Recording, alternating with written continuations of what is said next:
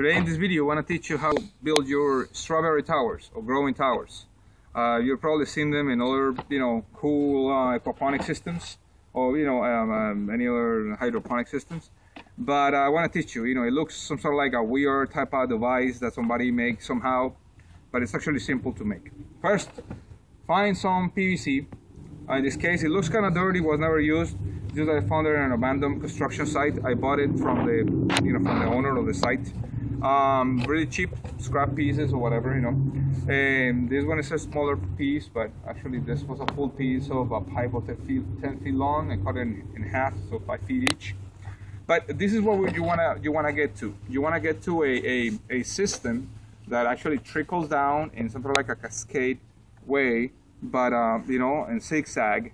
And so what happens is that the water will travel and this pattern will maintain the media that you grow in. The growing media will maintain nice and moist, but uh, in this case will not be completely submerged. And as you know, in aquaponic systems, you have different type of uh, herbs or plants that require or can tolerate different type of uh, humidity. So that I'm not gonna get in this video, but you can, I mean, you can just find it all in another of my videos. So this is what happens. This thing was bent with heat, which I have a heat gun over here and and then that's how it looks like. So this is what it will look like. So first you get the pipe. Different thicknesses different costs. So this one a little thinner than that one because it's not for pressure. You can find you know stuff that are cheaper or stronger whatever you want. If it's too big you know whatever you decide but you can find it at different prices.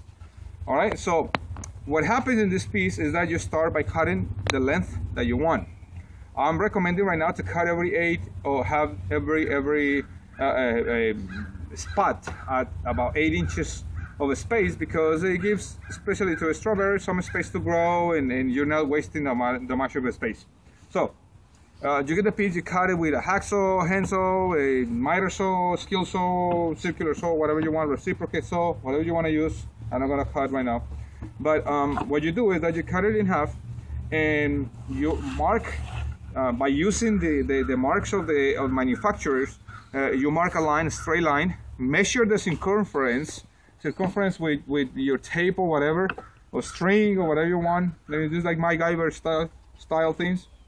What you do is that you mark the first one, then you determine what is the other size, you mark the other one. What I did to, to make it a little more clear is that I left some space for my, my, my hooks and then I start measuring. So in this case, I'm gonna, you're gonna start measuring about 10 inches and then you make the first line, you know? So what you do is that you mark by using again something that you can invent out of whatever you find. In this case, I'm using the little strap that's for piping. So I have some of that stuff and it doesn't like bend this way. So it gives you a nice line. So what you do is that you mark, you put it around, then you mark with your pencil. So I'm gonna show you. And this one I measure first 10 inches and then from there on 8 inches every time marking zigzag you know an opposite uh, uh, size of the of the of the pipe.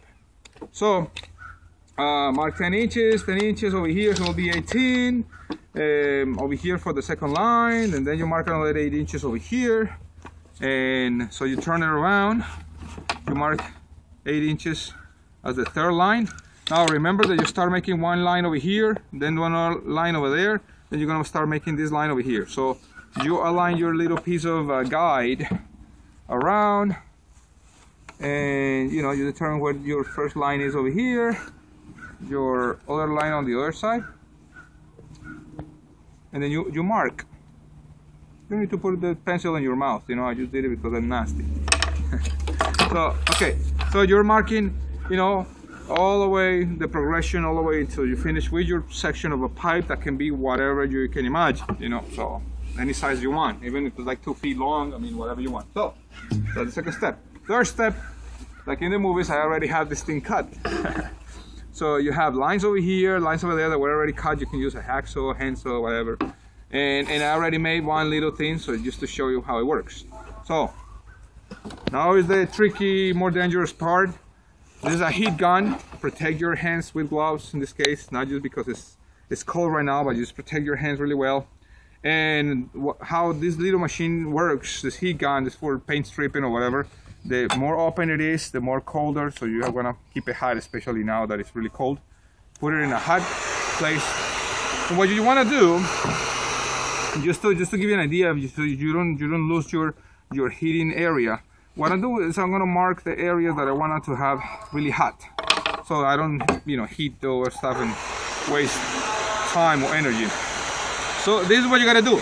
Keep it heating it up, heating it up, heating it up until you eventually have it so nice and flexible. It becomes like a, a piece of, uh, you know, a cardboard. That's how it is. Uh, we have some clamps over here that we're gonna use to, to give the nice shape. Then later on, when you finish with your project of, of uh, uh bending this material, you can actually, you know, use a nice um, uh, uh, wet sandpaper and clean it up and make it look not nice. So you wanna paint it with some sort of like non-toxic paint or whatever. You want you know you want to play a little bit with creativity. It's just cool you know. This material is waterproof so obviously.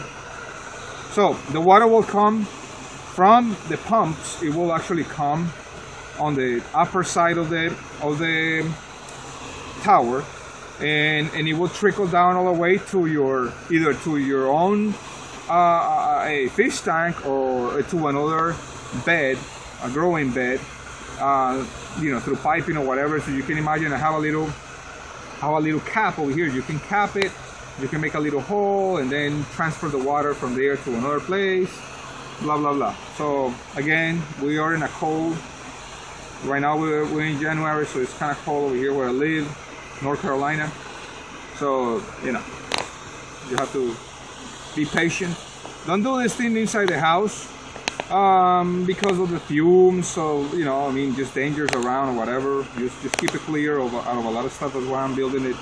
But yeah, so oh, that's nice. See, uh huh. So it's getting there. It's getting there. Very nice.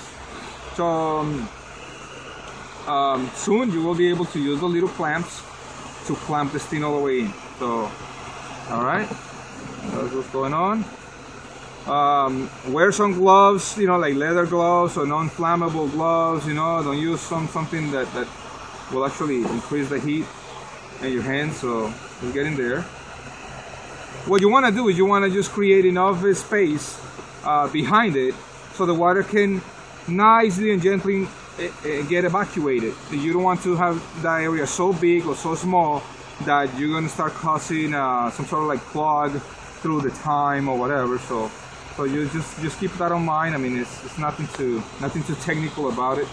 Um, as long as you have this um, this thing nice and warm in the beginning, I'm, I'm, I'm determining right now that we're almost there. So um, let's see. I mean, it's real time, so you can see that it takes like a minute and a half or two. All right, so you put it right here. You have your your nice little thing. your needle clamps um, put it on one side you know kind of be quick in this thing because it's getting uh, you know it gets solid really fast you clamp it over here on this side really quick all right then you clamp it on the other side